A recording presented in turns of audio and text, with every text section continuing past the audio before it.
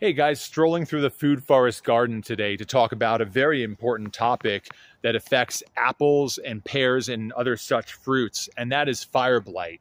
Fire blight is a dangerous bacterial disease that affects many orchards and destroys many trees, including one of my beloved apple trees a few years ago. But since then, I have found a key ingredient and some key things that have helped me deal with fire blight for the rest of my trees, and I haven't lost another tree since.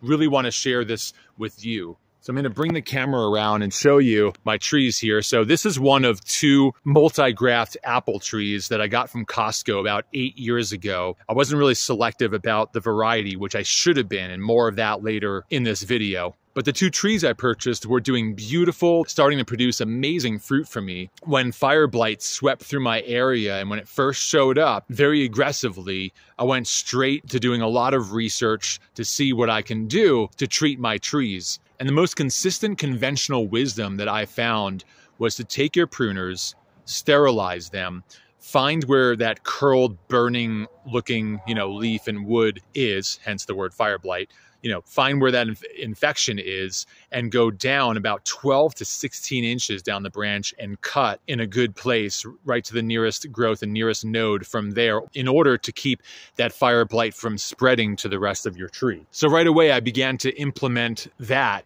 and right away, the fire blight just kept on spreading to the rest of my tree. You know, I'd clean it up really good. It would look like there was zero infection left. I'd make sure that I cut really, really low and still went to the rest of my tree. You know, those leaves would start to curl on other branches and I'd cut those branches. And I pretty much fought this fire blight for probably two to three years until I ended up with this. so this is the other of the two trees that I bought. And unfortunately, it lost the fight to fire blight. And all my work in trying to cut it out ended up being in vain as I was making all these cuts, by the way, I was also trying a few topical things that were recommended to me, but none of these things worked, by the way, because this is a systemic disease. It's really important to realize that. So even in commercial operations, it's really, really hard to treat fire blight effectively. At around that same time, there was a huge infection in this tree showing up and so I went to work on this tree the same way that I did with the other, knowing that I might be losing my battle very shortly here on this tree as well. When I received some advice from a few different permaculturalists who are also commercial tree specialists, and this was my huge game changer.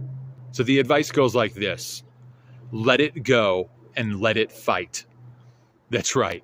It actually surprised me as well, and it didn't make a lot of sense. And some people may disagree with this, but all I can do is share with you what has worked beautifully for me. These guys were basically saying that when you make these cuts, you continue to create the openings and vulnerability to spreading the infectious disease. So, as hard as it was, because I love pruning my trees and I love taking care of my trees, I actually took my hands off of the tree completely. I didn't prune it at all. And when the fire blight showed up, I actually just left it alone. And almost right away, I actually began to see the tree fight in a very effective way. So if you look closely here, Here's the old evidence of that. You can see these dead branches, especially, yeah, there's one here, maybe a little higher up uh, with the contrast. You'll see these dead old branches, some with like the little pieces of dried fruit remaining. This is actually from almost two years ago but this is all dead. It all succumbed to the disease. But what happened was that it was almost like the tree was isolating and sequestering the disease in the branches that it was already affecting, but keeping it from spreading to the rest of itself. It's almost like the disease just stayed in that branch and destroyed the branch, but the branch just holds the disease and just slowly dies, hopefully along with the disease itself in time. So here's a quick example. If you look closely, this branch right here is long dead, but the one right next to it is totally alive. So this one did succumb to the to the virus. You could actually see where it looks kind of burnt and it's all dark here. But somehow the tree actually kept it from spreading beyond this point here, and the rest of the tree is totally fine adjacent to it. I feel like if I had cut that off, just like I had done in the past, then it would have very quickly spread to the adjacent branch because it did that so many times. Again, until this one was dead. Here's another example, and this will really show what it's doing here. So you can see that this branch is totally dead, long dead from the virus. And it looks like the tree sequestered it and actually created a cutoff line in its tissue right there. You see that? There's like a very clear cutoff line where the infected wood stops and the living, flourishing wood begins. It's been a few years, and starting even the first year back from not cutting and not intervening, it began to produce all this beautiful fruit like this, and we got a beautiful crop. And this year, we will see the same thing happen. So let the tree fight you know, it's hard for me not to want to cut off, especially these ugly pieces here. And I might do that, um, but I'm just going to try not to go too close because I really want the tree to just allow that dead infected wood to just stay where it is and not allow it to infect the rest.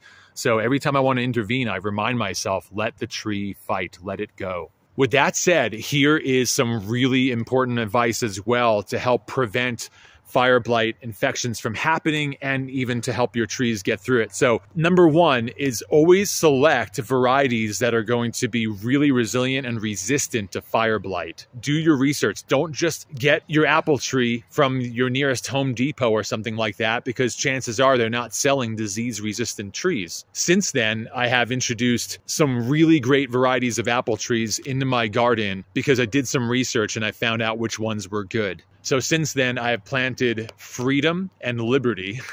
it's a great combination.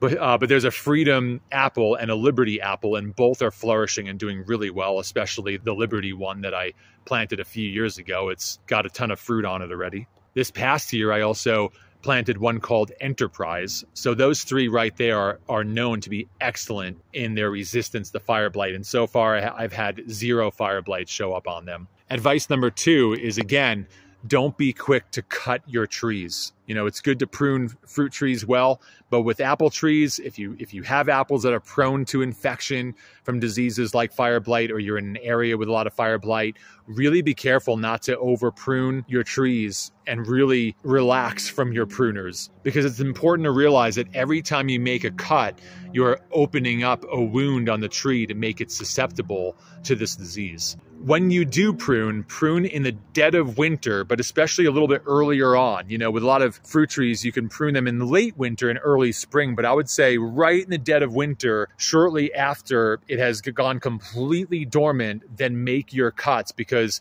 that will give your tree plenty of time to scab up and heal up so that it covers that open wound. Anytime your tree succumbs to any stressful event that opens up wounds, it is also opening up an opportunity for fire blight.